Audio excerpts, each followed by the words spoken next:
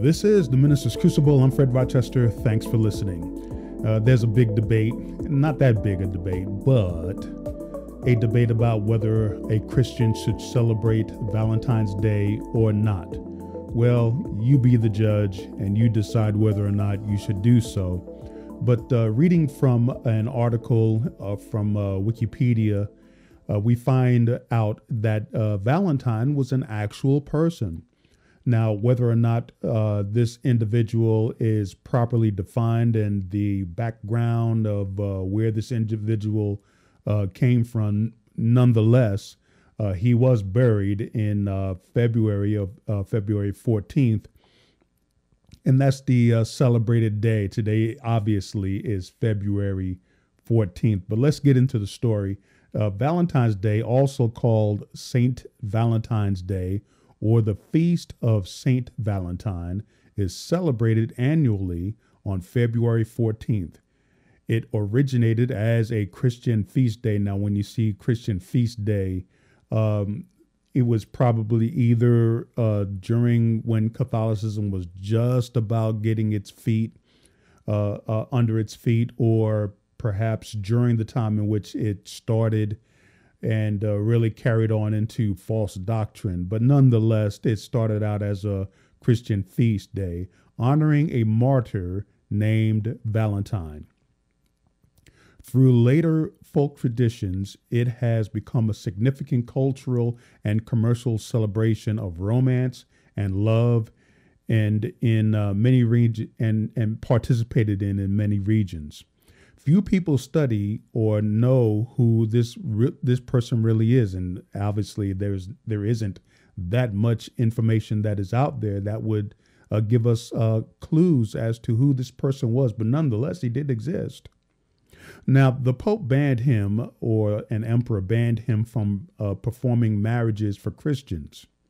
He was beheaded by the uh, by these individuals, and then was made a saint by the Catholics. So uh, that's part of the background, and we still don't know conclusively because there's uh, a variety of stories that uh, uh speaks of his martyrdom. But nonetheless, he was killed and he was buried uh, in February 15th. But here's another part of the story. Officially recognized by the Roman Catholic Church, Saint Valentine is known to be a real person who died around AD 270. However, his true identity was questioned as early as AD 496 by Pope Galasius or Galasius, uh, spelled G A L A S I U S the first, who referred to the martyr and his acts as being known only to God. So there's the question one account from the 1400s describes Valentine as a temple priest who was beheaded near Rome by the emperor emperor Claudius or Claudius rather the second for helping Christian couples wed. February 14th is celebrated as St. Valentine's Day in various Christian denominations. It has, for example, the rank of commem- commemoration in the calendar of saints in the Anglican Communion.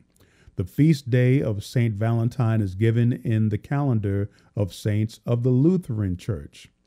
In the 1969 version of the Roman Catholic calendar of saints, the feast day of St. Valentine on February 14th was removed from the general Roman calendar and relegated to particular local or even national calendars for the following reason. Though, and I quote from Wikipedia, of course, though the memorial of Saint Valentine is ancient, it is left to particular calendars, since apart from his name, nothing is known of Saint Valentine except that he was buried on the Via Flaminia on February 14th. I hope I pronounced that right. If not, if I butchered it, please forgive me. But let's cut right to the chase. It's about money, isn't it? It is estimated that even in this downturn economy in the United States, high interest rates, and an increase in the cost of groceries, Americans will spend 21.5 billion, billion as in B, dollars on candy, cards, diamonds, and other expensive gifts on their wives, boyfriends, and girlfriends. Uh, but we have a greater love than this, and this love can be celebrated each and every single day. Uh, God demonstrated his love for us in that while we were yet sinners, Christ died for us. The, that's what the Bible says in the book of Romans, chapter 5. In the book of John, chapter 3, and verse 16, For God so loved the world that he gave his only begotten Son, that whoever believes in him shall not perish, but have everlasting life. You see, the true love is when one lays down their lives for their friends. And the Lord Jesus Christ laid down his life for us so that way he can pay the penalty of sin and that we, based on repentance from dead works and placing our faith towards God through our Lord and Savior Jesus Christ, based on what he did on the cross, on the cross, we can now have eternal life. And this is the thing that is of grave importance. And, and this is something that we should never, ever uh, shy away from, especially those of us that believe on the Lord Jesus Christ for salvation. So if you're looking for love, eh, you can look for love in the flesh, you can look for love in gifts. But the greatest gift of all is the Lord Jesus Christ. The Bible tells us in the book of Romans, chapter 6 and verse 23 For the wages of sin is death, but the gift of God is eternal life through Jesus Christ our Lord. We have salvation as a gift from God. The book of Ephesians, chapter 2, and verse 8, beginning there, says that for by grace are you saved through faith, and that not of yourselves. It is the gift of God, not of works, lest any man should boast. And so grace is a gift given to us from God, and it was expressed through the death, burial, and resurrection of the Lord Jesus Christ, so that way we can have eternal life through Jesus Christ our Lord. Now, for many people, there will be nothing wrong with giving gifts and, and candy and things of that nature to your your wife, your husband, your boyfriend, or your girlfriend don't give uh, unmarried couple gifts the gift of sex because the gift of sex is within the confines of holy matrimony. Uh, don't fornicate and commit adultery. That's not a gift. That is sin, sin against God. But in terms of the husband and the wife, or boyfriend and girlfriend before you're married, and you don't give up your virginity, you know, as a gift, uh, I, I, see nothing wrong with doing that on on a regular basis. Now, whether you do it on February 14th or any other day of the year, that's completely up to you. Uh, and in fact, you probably shouldn't wait till just just that one particular day to lavish uh, a special gift. You should do it as a spontaneous act any day of the week.